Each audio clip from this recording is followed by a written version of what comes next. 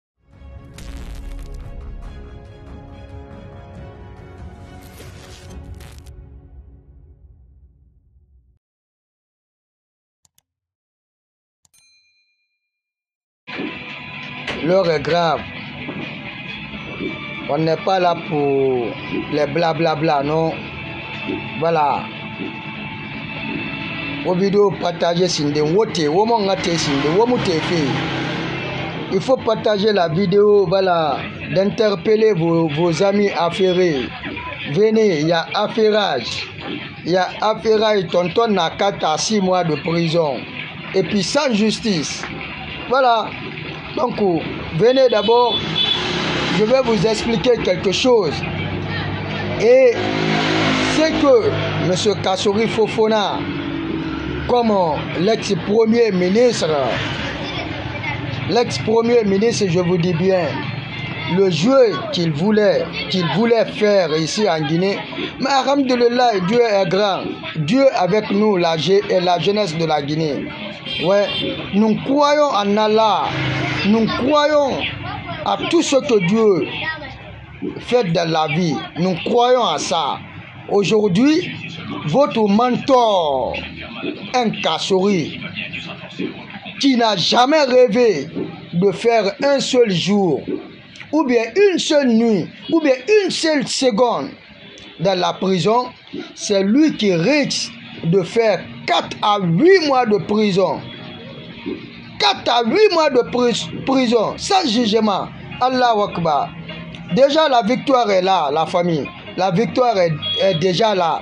On doit célébrer, on doit célébrer, je vous dis, cette victoire-là. Parce que cette victoire-là, c'est la jeunesse guinéenne qui gagne et c'est la Guinée qui gagne. Essayez de partager encore. Voilà. So, qu'est-ce que je veux dire par là Monsieur Kassori Fofona voulait se cacher derrière RPG Alcanciel. Voilà, tout court pour ne pas, pour ne, euh, puisque l'État de ne pas faire l'arrestation. Voilà, il est venu en tant que leader de, du parti RPG. Mais et eh, draba sa système ma.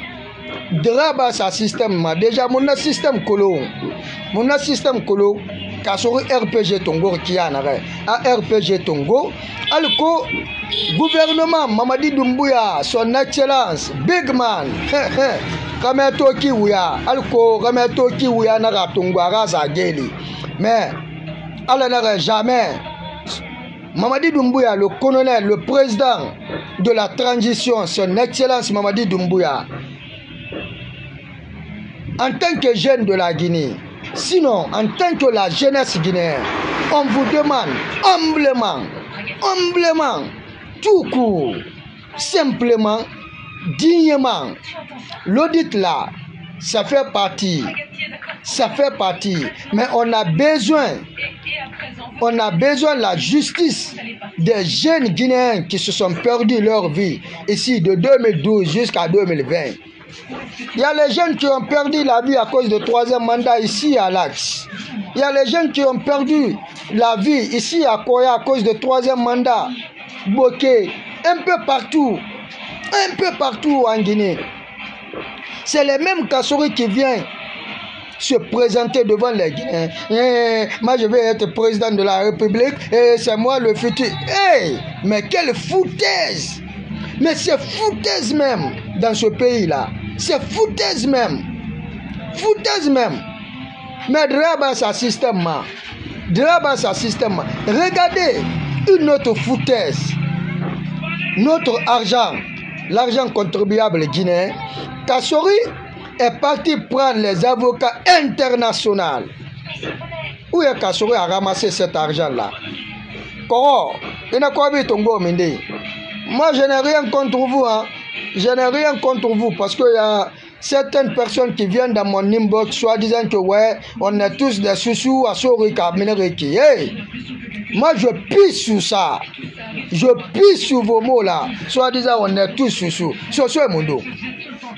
Soso Mundo, Kasori n'a pas de famille ici.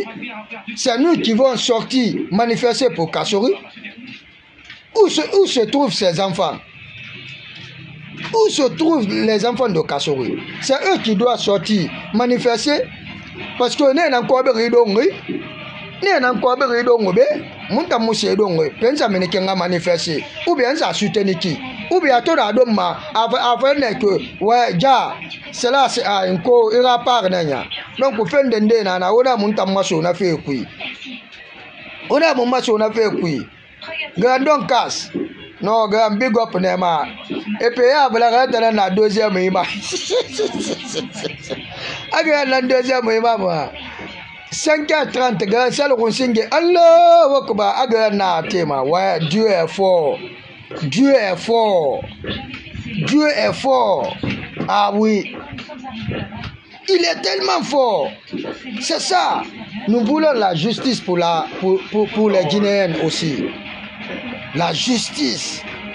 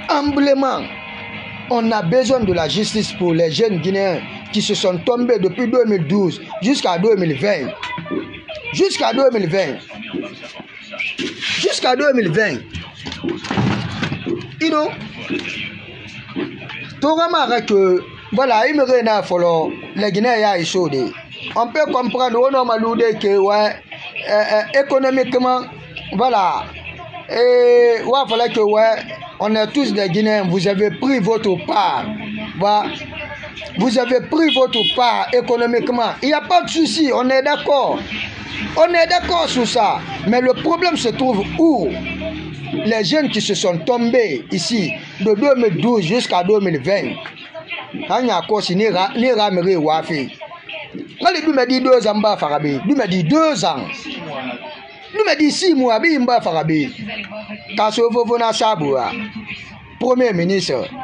Un premier ministre qui dit ici en Guinée que si le président de la République, euh, le professeur Alpha Condé, diminue le prix de carburant, que lui, il va démissionner. Allah Akbar. Que lui, il va démissionner.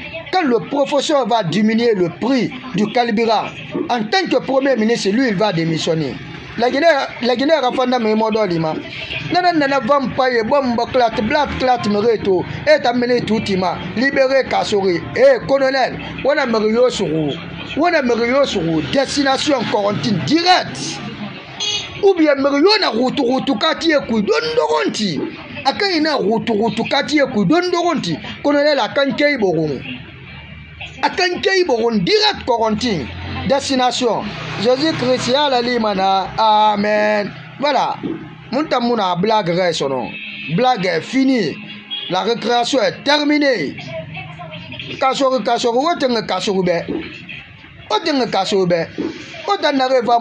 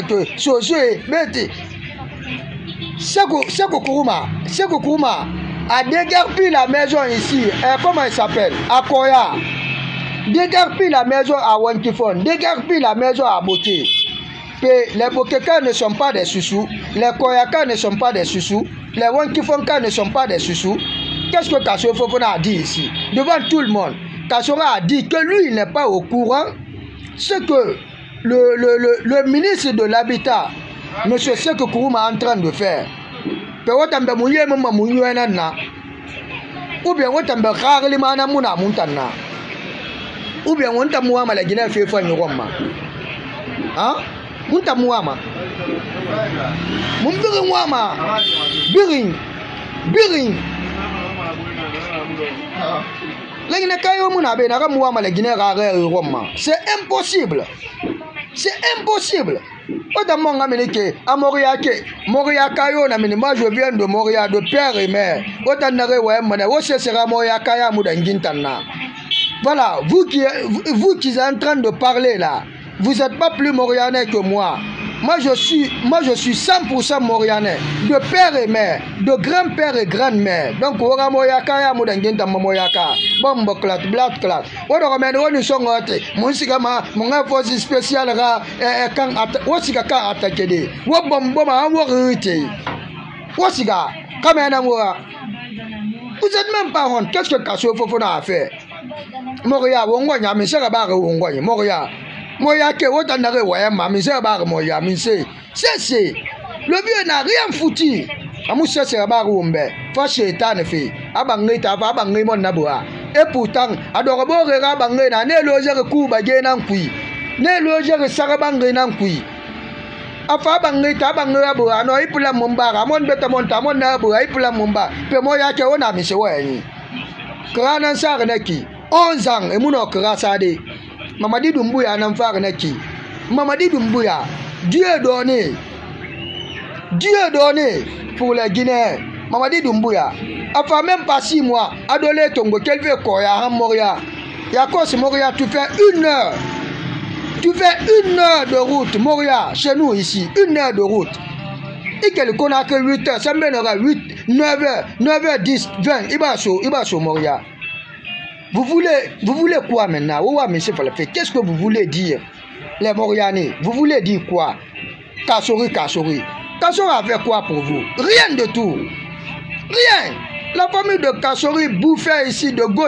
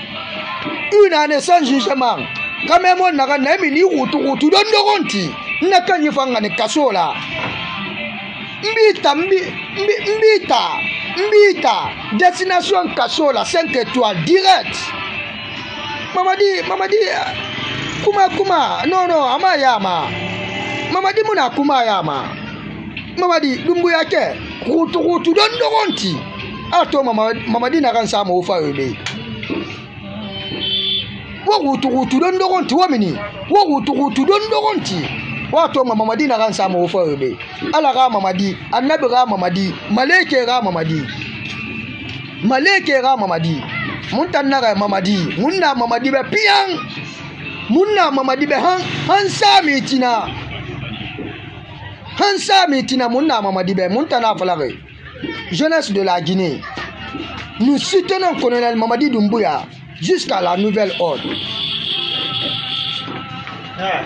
Jusqu'à la nouvelle ordre. Jusqu'à la nouvelle ordre, mon a soutenu.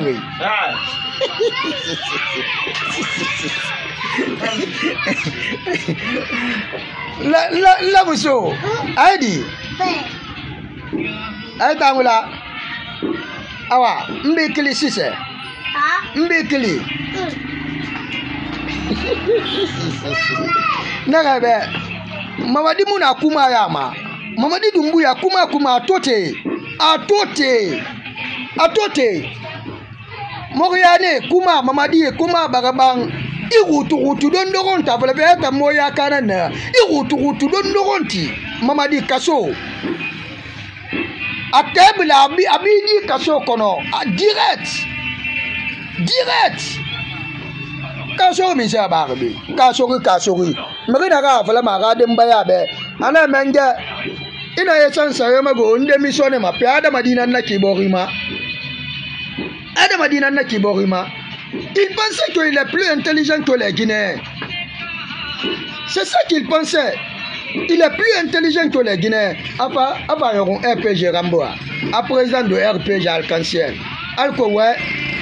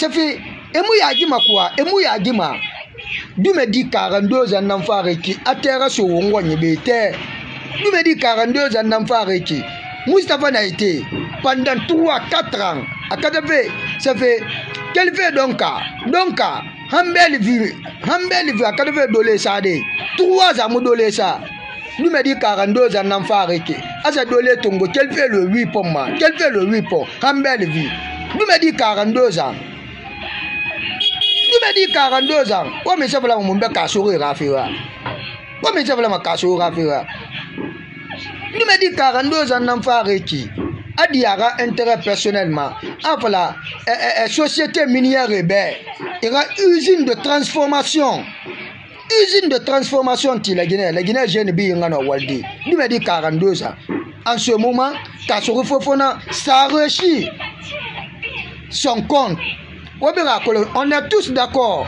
Ici, de 2017, 2018 jusqu'à 2019, il y, a, il y avait une société ou bien une compagnie minière à Boké qui appartient à Kassourou Fofona. On est tous témoins pour ça. Voilà.